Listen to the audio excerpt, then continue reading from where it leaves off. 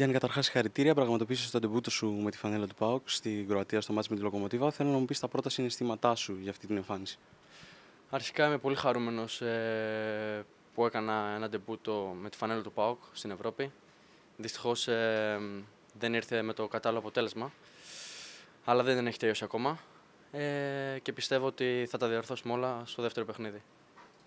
Ε, η ομάδα καλείται να ανταπεξέλθει σε επίσημες αγωνιστικές υποχρεώσεις, έχοντας πραγματοποιήσει μια πολύ μικρή προετοιμασία. Παίζει με ομάδες που είναι πιο έτοιμες από αυτήν. Ε, δημιουργεί κάποιο εξτρά άγχος αυτός σας στου παίκτες σας, δυσκολεύει, δυσκολεύει την προσπάθειά σας; Ε, μετά το γκολ που πετύχαμε στο 90, ε, μας, μας έχει αφαιρέσει το άγχος, να πω την αλήθεια, ε, καθώς τα πράγματα δεν είναι τόσο δύσκολα.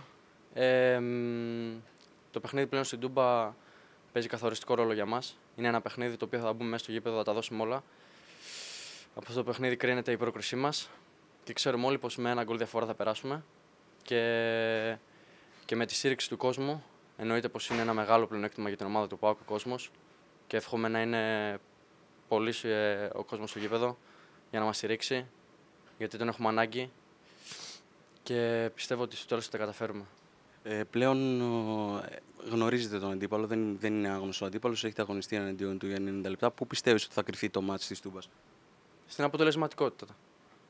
Πιστεύω ότι αν είμαστε αυτοί που πρέπει να είμαστε, να ακούσουμε τις εντολές του προπονητή μας, να κάνουμε στο γήπεδο αυτά που έχουμε δουλέψει, ε, δεν θα έχουμε κανένα πρόβλημα να περάσουμε στον επόμενο γύρο.